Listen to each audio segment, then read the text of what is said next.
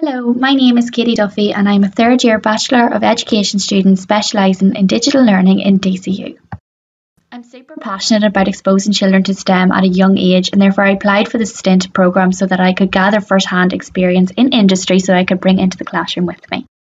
I was an intern at Xilinx, which is a supplier of programmable logic devices. Fun fact about Xilinx is that they have a chip on the Mars rover.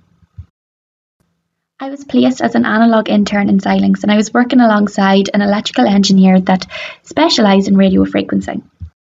I got to learn a lot about basic RF concepts and how RF is used in everyday applications such as phone calls and radio. I started using an application called Keysight ADS, and under the guidance of my mentor Ian I started to create the building blocks to create my first RF SoC test bench. But behind the work, there was a lot of social aspects involved as I got to meet eight young aspiring engineer interns, virtual coffee chats with the women of STEM, and of course, working alongside my fellow STInt intern, Michelle, to produce an Enhancing Your Presentation talk for the Xilinx LearnX Day. One of my favourite memories of working as a Xilinx intern was definitely our trip to Xilinx offices in City West Dublin.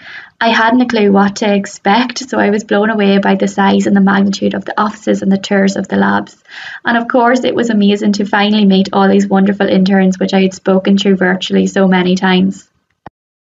Over the last nine weeks, I have gained a whole new knowledge of what a STEM career is and a whole new appreciation for what engineers do. I have gained so much first hand experience that I'm going to bring into the classroom with me and hopefully encourage children to follow STEM careers. I have to say a huge thank you to Peng and Ian for working so closely with me, as well as the entire analog team of Xilinx for welcoming me into their team. As well as that, I need to say thanks to Claire and Mairead and the whole STInt programme for making this such an enjoyable experience, and I couldn't recommend it more.